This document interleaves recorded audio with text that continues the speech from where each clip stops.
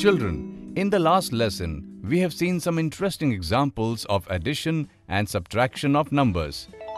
In this lesson, we will cover some common mistakes related to this. In the village, anyone who has any doubt in mathematics goes straight to uncle. Today, Golu Panda also reached out to uncle with a doubt. Golu Panda is telling uncle that today morning Babban came to his dairy to get milk. He gave Golu rupees 192 and Golu was to take rupees 65 from him. Golu could not find out how much money he would have to return to Babban. Golu had written the question like this. Golu dear, you have written this question wrong. While subtracting numbers, we always have to subtract the smaller number from the larger number. To show this, we write the larger number above the smaller number. Here the larger number is 192 and the smaller number is 65.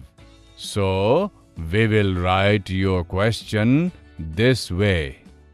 Now we can solve this very easily using the method of subtraction. Uncle explained to Golu. Children, can you solve this?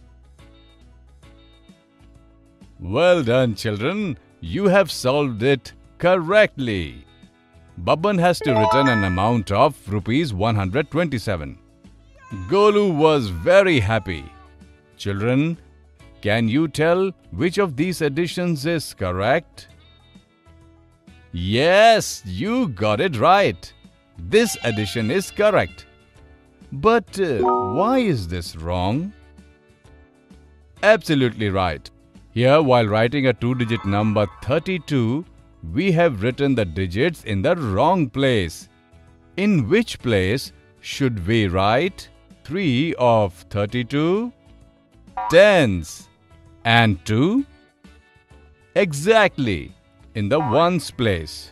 Children, remember, while writing any number, you must take extra care to write its digits in the correct place. Golu understood his mistakes and is happy to finally solve it. He promised uncle not to repeat those mistakes while adding and subtracting numbers. Children, we hope that you too will not make these mistakes. In this lesson, we saw few common mistakes related to addition and subtraction of numbers.